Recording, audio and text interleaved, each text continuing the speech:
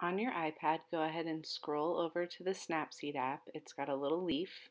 Mine is going to open up an old project I just completed for my AP Art History students. And you can access a photo. From here, you can access images from your camera roll or import them from another document. Here I've got two other statuettes that were completed by students in that class. The great thing about this app, once you click in, you can see I can crop the photo down like we're going to need to, and it gives you the rule of thirds right there so you can make sure that you're actually composing your image properly. You can alter the perspective if you're looking from aerial or from bug's eye view. There's so many options that you can click on there at the bottom where you can alter the saturation, increase black or white. Uh, you can focus on certain areas of your artwork and just change the lighting in those areas.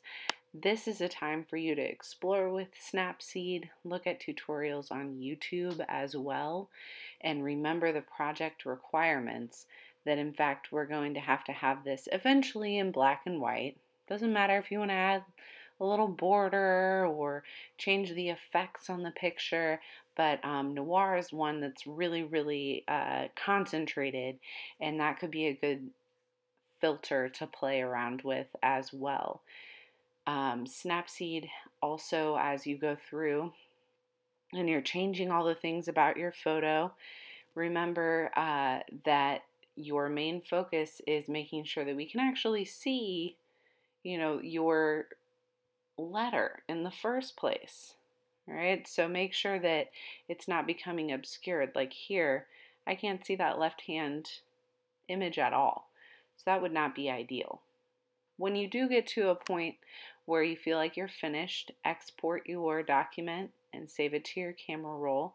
These documents will be uploaded to Canvas at our next class, and everyone will have access to them to then print in the next stage.